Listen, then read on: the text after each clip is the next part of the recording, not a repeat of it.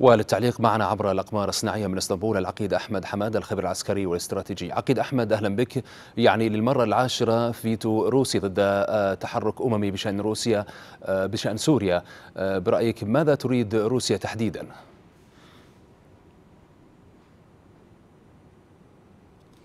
السلام عليكم. تحياتي لك وللسادة المشاهدين.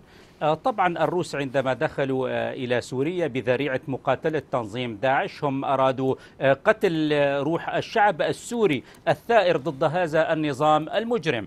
فبالأمس استخدموا لغرض وقف آلية تمديد لآلية التحقيق في الملف الكيماوي في منطقة خان شيخون والتي أكدها رئيس اللجنة مولي بأن سوريا أو كما سماها الجمهورية العربية السورية هي المسؤولة عن استخدام الزارين في خان شيخون في أربعة أربعة وهو مستمر في هذا العمل. فالفيتو الروسي بالأمس هو من أجل قتل آلية التحقيق ومن أجل يعني منع التحقيق ضد بشار الأسد ومنع معاقبة هذه العصابة المجرمة. نعم. هذا يؤكد بأن الروس هم شركاء في هذه الجريمة وهم استخدموا عشر مرات الفيتو من أجل تثبيت بشار الأسد وحماية بشار الأسد خاصة بأنهم اليوم يعزفون مرات عديدة بأنهم هم شرعيون في دخولهم إلى سوريا.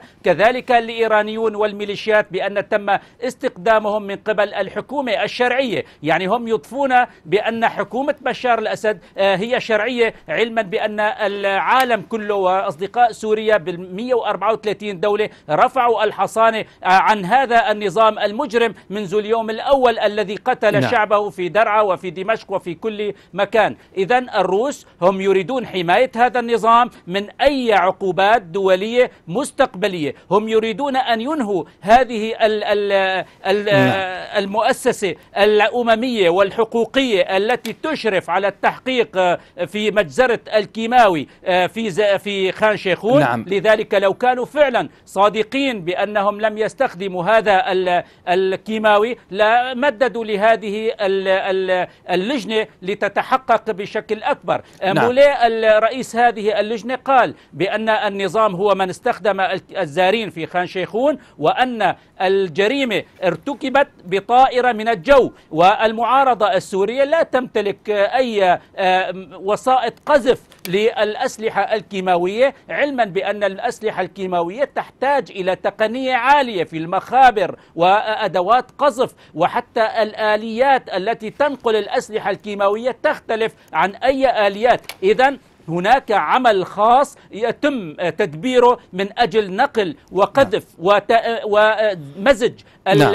الأنشطة الكيماوية وهذه التقنية لا يملكها إلا الروس والنظام في سوريا إذا نعم. الروس هم مجرمون هم يريدون نعم. تثبيت بشار الأسد وحمايته من خلال القفز حتى على نعم القفز على جنيف وعلى أماكن أخرى. نراهم اليوم ينتقلون من سوتشي إلى أستانا إلى أماكن أخرى. كل هذه العملية يريدون إبعاد الأمم المتحدة عن أي تحقيق أو عن أي عمل سياسي خاص في سوريا. نعم إزاء هذا الفيتو المتكرر من روسيا عقيد أحمد يعني ما جدوى مهمة يعني الخبراء الدوليين وتقاريرهم إذا كانت تواجه بفيتو روسي وهل التمديد لعمل هذه اللجنة الحقوقية يعني هو مؤثر؟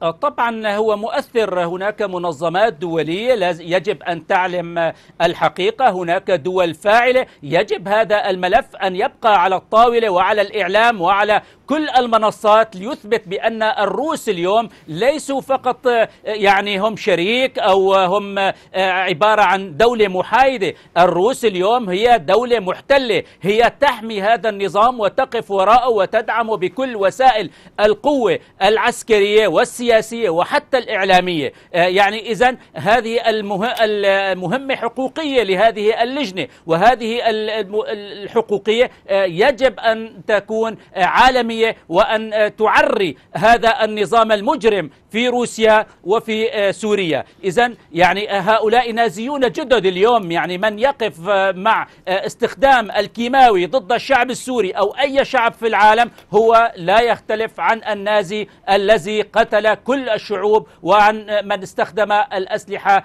النووية والأسلحة الكيماوية ضد أي شعب. ليس فقط الشعب السوري ولكن ضد العالم. من يقتل نعم. اليوم الشعب السوري هو من يقتل البشرية.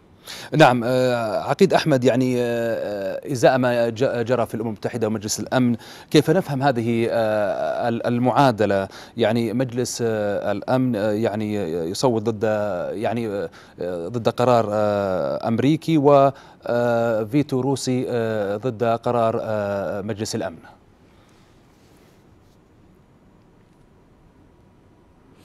طبعا الفيتو الروسي هو متوقع ولكن آه، وضع آلية آه، استخدام هذه يعني اللجنة وتمديد العمل فيها يضع روسيا أمام استحقاقات عالمية. حتى أن آه، نيكي هيلي المندوبة الأمريكية قالت لقد قتلت اليوم آلية التحقيق المشتركة الدولية وأنها تحمل الروس مستقبلا أي استخدام للكيماوي في سوريا. اليوم يعني حتى هذا اليوم بالأمس استخدم النظام الغاز الكلور السام في مدينة حرستا وهي لا تبعد سبعة كيلومتر عن مركز مدينة دمشق استخدم الكلور السام في قرية بيت جن في جبل الشيخ آه، الحدودية مع الجولان المحتل إذا هذا النظام هو محمي من قبل الروس والفيتو الروسي يعني بأنه آه، اليوم آه، يضع إشارة نعم. X على كل المسائل الحقوقية العالمية وعلى على مجلس الأمن الذي هو المعني بحفظ السلام آه، الدوليين. يعني واليوم الاستخدام الكيماوي يعني هو آه، انتهاك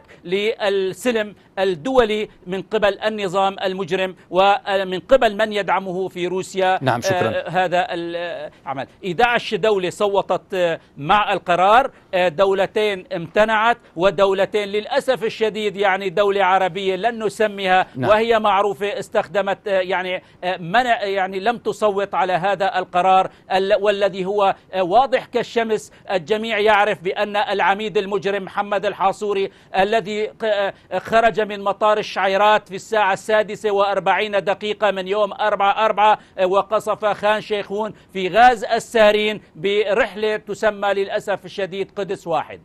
نعم من إسطنبول العقيد أحمد حمادة الخبير العسكري والاستراتيجي شكرا جزيلا لك.